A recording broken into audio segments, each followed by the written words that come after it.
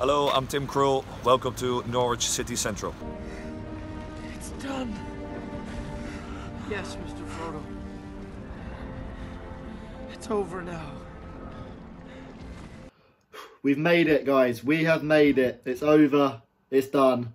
It's done with Norwich City's Premier League campaign is over. Manchester City 5, Norwich City nil. Norwich City go down with a thrashing, as you probably would expect, coming up against a team with Manchester City's quality. And yeah, Norwich City are down. It's their worst ever season in their history in terms of points tally, and thank God it's all over with.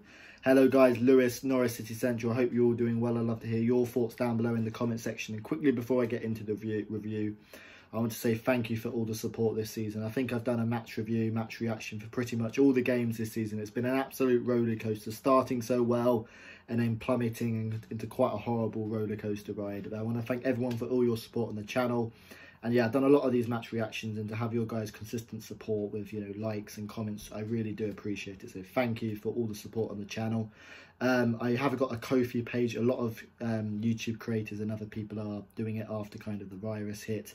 Um, if you do want to make a one-off donation for just the price of a coffee, £3, and um, please feel free to do so. It would really help with the channel and I would really appreciate the support. I will leave the link to that in the description. Let's get to the game though. And yeah, it's been an absolute roller coaster and it's done. Thank God for that. Um, Manchester City 5-0. It was an absolute torrid game for Norwich City as you would expect. Um, but I'm not too disappointed. You kind of, you know, so many good teams, you know, teams much better than us have been thrashed by Manchester City. So it's no surprise we have lost 5-0. The real frustration for me is obviously you know, our 3 0 loss after the lockdown against um, Southampton and 4 0 loss to West Ham. That's where the frustration really lies, where Norwich City were second best by miles. Um, it's been an absolute horrible season and questions need to be asked. You know, you can have blame towards VAR and injuries, but ultimately it's all down to ourselves. Poor tactics, not enough recruitment.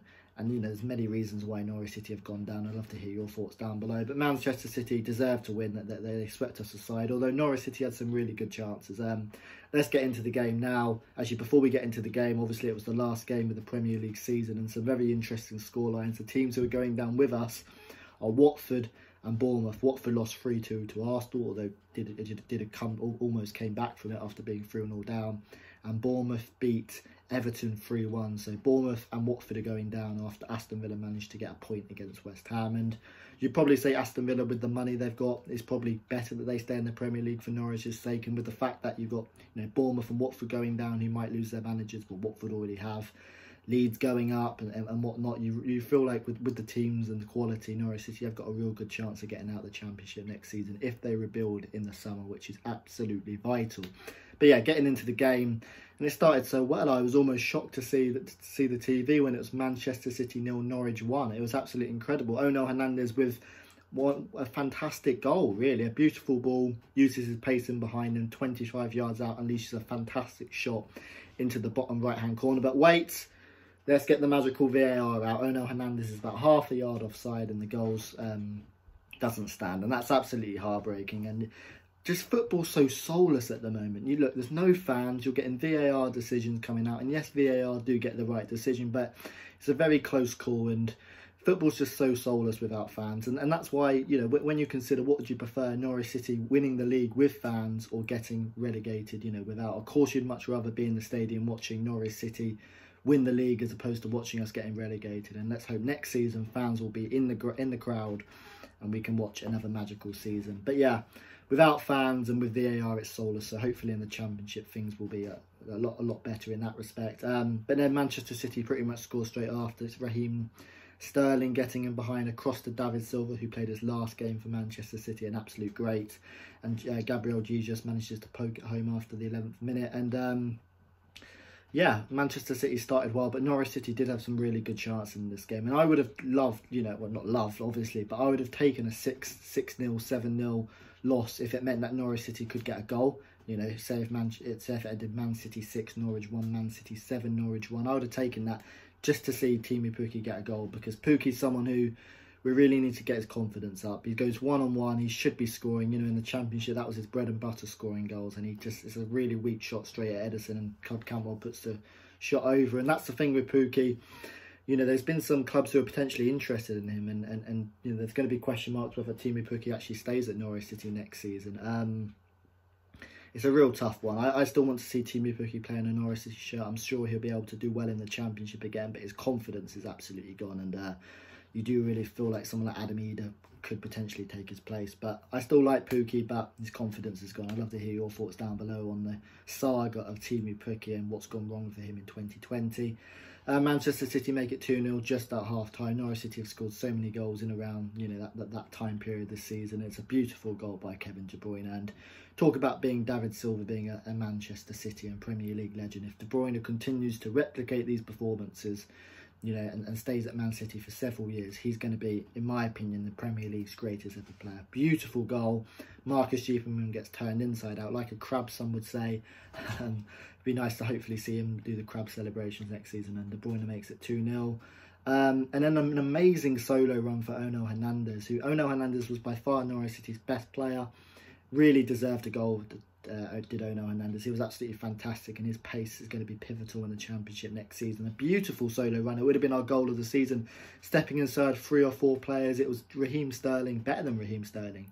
Um, he runs into the box one on one, but Ederson makes a good save, and it was really harsh on Onel because he's deserved to go, and he's been one of our better players since lockdown. He's someone who's clearly up to the fight.